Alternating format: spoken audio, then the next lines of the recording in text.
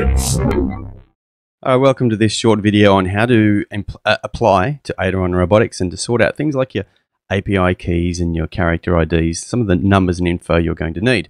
You've hit enlist and you've found yourself at this place here and you're going to need some of this information.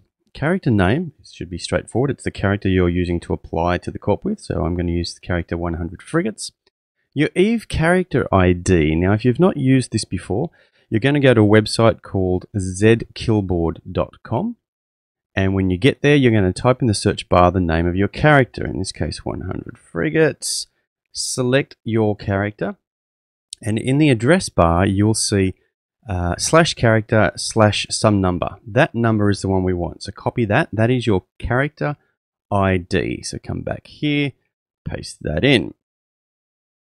API key ID. Now, if you've not set up an API before, I'm going to quickly walk you through the process. Go to the website community.eveonline.com and under the support menu, you'll see an option that says API key management. Click that. It will ask you to log in to your Eve account. Okay, so that's not your character name. This is the account name and password that you use to log in to the game. And now uh, we've got API key management. Basically, create a new one. I'm going to create a new one here. Now, some information we need to put in. The uh, name is not your character name. It's just the name you're giving to the API key. So in this case, I'm going to call it Aideron Robotics. It doesn't matter what you call it. It's just to, for you to identify what this one is for. You do need to select all for your characters, not one of the three characters I've got on this account, but all and make sure you've selected character, not corporation.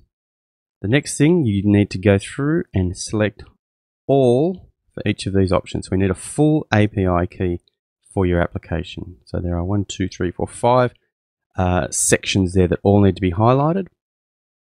And once you've done that, you simply hit, uh, now expiry is up to you. You can set a date for your key to expire or you can set no expiry. That's completely up to you. Uh, I'm going to just leave mine with an expiry date and hit submit. You've now got an API key. It has a key ID and it has a verification code. They are the numbers you're going to copy and paste into this part of the application form. The key ID and the verification code. Copy that, paste that in there. The rest is up to you. You can fill in the rest of the details, but that's what we need in terms of uh, identifying numbers to proceed with your application. What will happen is when you submit that, an email will go to our recruiting team, who hopefully within a day or two tops should be in touch with you, but we'll also talk a bit in a minute about how you can help that process along.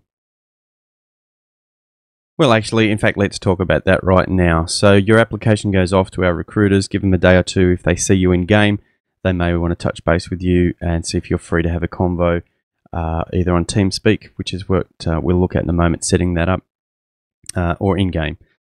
Uh, you can push that along a little bit by hitting up the Aideron Robotics public channel in game. If you don't have that set up or don't know how to, here's the process quickly. Uh, this will be, uh, if you click on this, you'll be able to set up or join certain channels. You can also access that if you don't have it set here, which I think it is by default. You can go to social channels, type in here Aideron Robotics. Hit enter and you will now uh, be in the Aideron Robotics public channel. Now, often you'll see Aideron guys hanging in there as well. Uh, don't put anything private or personal in there because that's a public channel. But uh, if you see someone from Aideron Robotics in there, you may want to have a chat and say, "Hey, is you know, is there anyone around for an interview?" They'll ping through our Slack channel and see if there's anyone available to have a chat to you. Uh, you can always double click on the character to see if they are in the corp um, just like I said, this is a public channel, so they won't necessarily be all Aideron Robotics uh, characters. So yeah, keep an eye on that public channel. That's also another quick way to uh, get that moving along. And then probably the third and uh, final thing you can do in preparation for your application and interview is download and set up TeamSpeak 3, which is the voice comms that we use in our fleets and also for your interview. Simply go to teamspeak3.com and hit the download TeamSpeak. Uh, you can install that onto your computer.